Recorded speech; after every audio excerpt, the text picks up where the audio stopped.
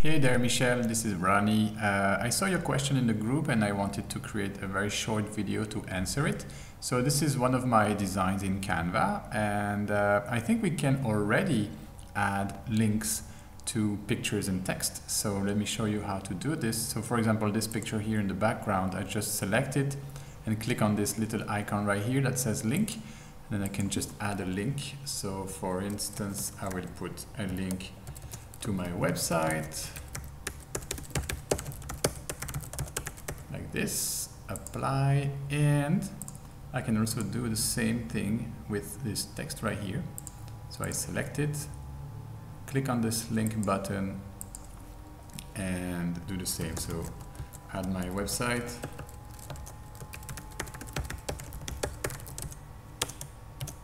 Like this. Apply. The only thing is that of course, for your document to be clickable, you have to download it as a PDF. Uh, it doesn't work with PNG, it doesn't work with JPEG. Uh, you have to download it as a PDF. So let me show you. I'll download it as a PDF standard.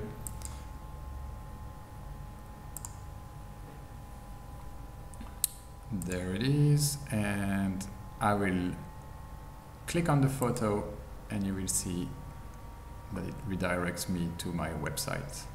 So there it is. I hope this answers your question.